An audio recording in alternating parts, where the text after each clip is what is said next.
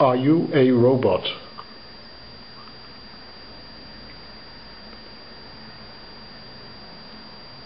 I ask again, are you a robot? Who is the president?